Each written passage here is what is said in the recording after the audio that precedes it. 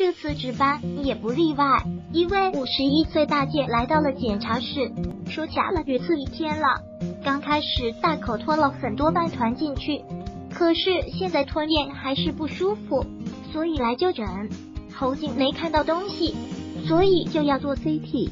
做了 CT 出来，吓一跳，食管里确实有鱼刺，不单是有鱼刺，鱼刺还穿出去了，一半在食管里，一半在外面。刚好旁边就是主动脉，做了增强，看到鱼刺与主动脉相贴，很有可能已经刺进去了主动脉。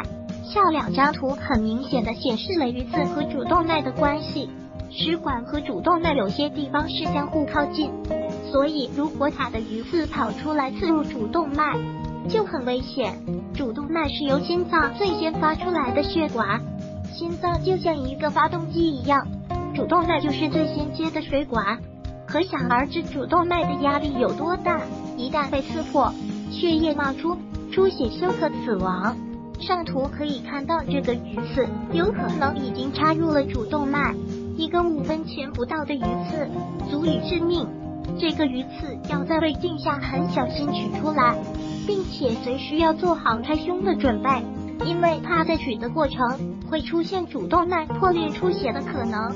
可幸的是，这位大姐的鱼刺顺利被医生取了出来。这位大姐在鬼门关走了一回，她喜极而泣，由衷的说：“我以后都不敢吃鱼了，吃饭也不要这么快。”掐了骨头，再也不拼命吞饭团了。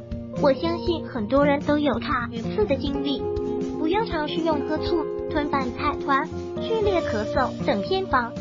喝醋不可取，有些人是图喝醋，想把醋泡软。但是你要知道，鱼刺是卡在食管，吞下去的醋只能淋一下鱼刺，并没有泡的功能，也不会泡软。鱼刺没泡到，却把自己酸傻了。吞饭团不可取，鱼刺卡在食管里，大口吞饭团或者剧烈咳嗽，都有可能让鱼刺移位，插得更深，又可能会插到附近的大血管去，出现休克致命的危险。温馨提示：吃饭应该细嚼慢咽，细细品尝食物的美味，而不是狼吞虎咽。如有不适，及时就诊。如果喜欢本视频，请分享并订阅本频道。